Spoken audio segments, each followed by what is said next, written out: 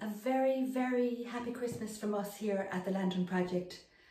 This is the very last video of 2021 and we are so thankful to all our participants and everybody who encouraged us and took part in our activities this year. We want to pay special tribute to our tutors who are so kind and generous with the sharing of their talents and their gifts with us here at the Lantern Project. We're so thankful to all our partners all over the city who made so many things possible for us and inspire us on a daily basis in our work and in our lives. We're also wanting to thank our funders. We thank Cork ETB. We really thank the HSE. We thank Cork City Council and all the other people who have supported us financially and in many other ways too.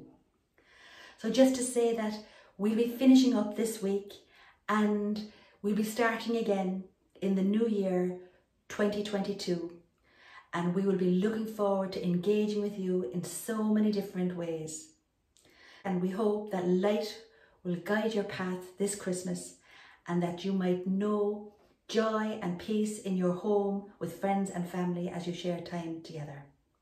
Although it's been said many times, many to.